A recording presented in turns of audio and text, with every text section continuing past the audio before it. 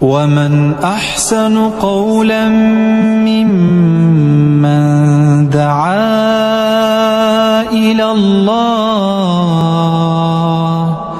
دعا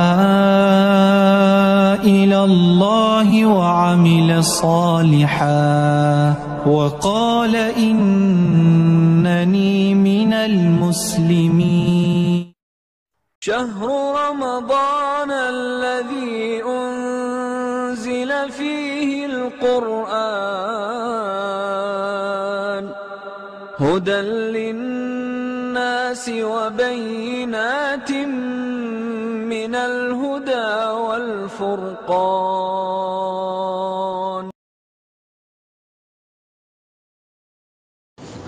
ওয়ালাইকুম সালাম রহমতুল্লাহ বরকাত জি সম্মানিত ভাই আপনি জানতেছিলেন যে সম অবস্থায় চোখে এবং নাকে ড্রপ ব্যবহার করা যাবে কিনা। এবং কোনো কোনো সময় গলাতে এটার যে স্বাদটাও প্রকাশ পায়। সম্মানিত ভাই, সমসাময়িক একটি প্রশ্ন করার জন্য অনেক অনেক ধন্যবাদ। সাবাতা আন রাসুলিল্লাহ সাল্লাহ সাল্লাম আন্নাহু কলা ওয়াবালিক ফিল ইস্তিংশাক ইল্লাং তাকুনা স ইমান তিরমিদির সাতশত অষ্টআশি নম্বর হাদিস, হাদিসটি সহি, যে রাসুল সাল্লাহ সাল্লাম বলেন, তোমরা অজু করার সময় নাকে যে ভালোভাবে পানি প্রবেশ করাও।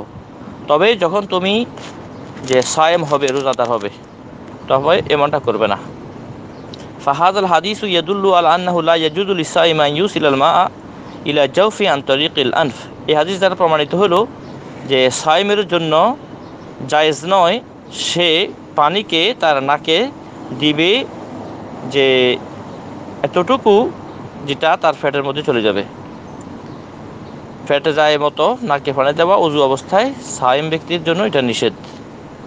এই হাদিস থেকে দলিল হলো, যেহেতু নাকেও যদি ড্রপ ব্যবহার করা হয়, এই পরিমাণ ব্যবহার, যে পরিমাণ ব্যবহার- ব্যবহারের কারণে যদি নাকি পেটে চলে যায় বা গলাতে ইত্যাদি অনুভব হয়, তাইলে এটা ব্যবহার করা জায়েজ হবে না।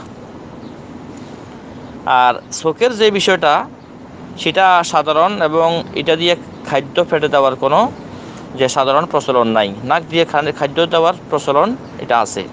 চোখের মাধ্যমে নয়।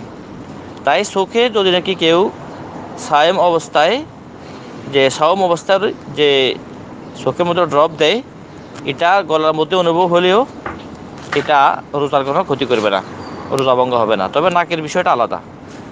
নাকের বিষয়টা আলাদা, তাই যদি নাকি নাকের মধ্যে ড্রপ দিল, আর সেটা গলাতে অনুভব হলো, তাহলে তার রোজা ভেঙে যাবে। এখানে একটা বিষয় খেয়াল রাখতে হবে, ওয়াইন উলিমান লাবুদ্দা ইয়েবতালিয়া মিন হাসাইন ফালা ইয়াজুজু লাহু ইস্তামালুহা ইল্লা ইয়াবলুগা হাদ্দুল মরদিল্লাযী ফিতর ওয়া হুয়া আল্লাযী ইয়াদুরু মাহু সাওম, আও ইয়ালহাকুহু বিহি মুশাক্কাতুন ইয়াশুক্কু তাহাম্মুলুহা।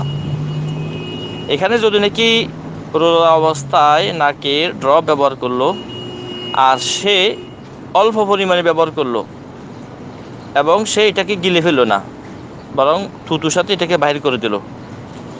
তাহলে এই পর্যন্ত সে ব্যবহার করতে পারবে। কোনো কোনো ওলামাই কালাম এভাবে বলেন, যদি নাকি তার অসুস্থতার সীমা এরকম বেড়ে যায়, যদি নাকি নাকের ড্রপ ব্যবহার না করে, সে রোজায় রাখতে পারবে না। তার রোজা রাখলেও অনেক কষ্ট যে স্বীকার করতে হবে। এমন অবস্থা যদি হয়, তাহলে নাকের ব্যবহার করা যায় হবে, ড্রপ তবে যে থুতুগুলো সে কী করে দিতে হবে? ফেলে দিতে হবে। আর শোকের বিষয়টা সম্পূর্ণ ভিন্ন। যেহেতু এটা খাদ্য ফেটে দেওয়ার কোনো সাধারণ নিয়মের অন্তর্গত নয়।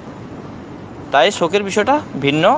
শোকের দেওয়ার পরে যদি নাকি মুখের মধ্যে তার যে স্বাদও লাগে, তারপরেও জবঙ্গ হবে না। নাকের বিষয়টা ভিন্ন। নাকে দিবে না রোজাদার সাধারণ অবস্থাতে। হ্যাঁ যদি নাকি এমন কষ্ট হয় যে কষ্টের মাধ্যমে সে রোজা রাখতে পারবে না বা রোজা রাখতে পারবে, অনেক কষ্ট সে যে কী করতে হবে, বরদাস্ত করতে হবে। তখন ওই ব্যক্তি নাকে ড্র ব্যবহার করবে, তবে থুতুগুলাকে সে নিক্ষেপ করে দিবে। আশা করি বিষয়টা বুঝতে পারছেন। বাকি আল্লাহ আলম সব সালামু আলাইকুম রহমতুল্লাহ।